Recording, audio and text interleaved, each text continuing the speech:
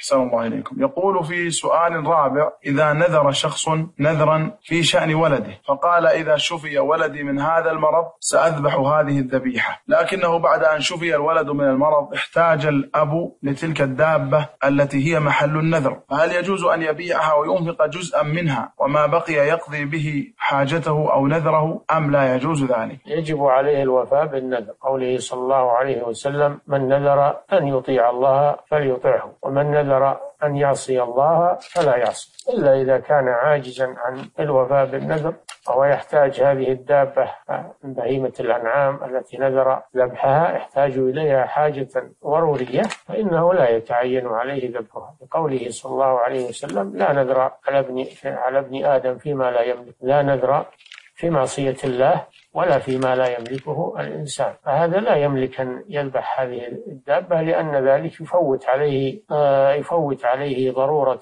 من ضروراته. ولكن عليه كفارة يمين. نعم. فإن أمكن أن يبيعها في يقضي بينه ويقضي حاجة يقضي نذره ويقضي حاجة. ما يوفي النذر ما يوفي. إذا إذا باعها وأخذ بعض ثمنها يصير ما وفى بالنذر كله. نعم.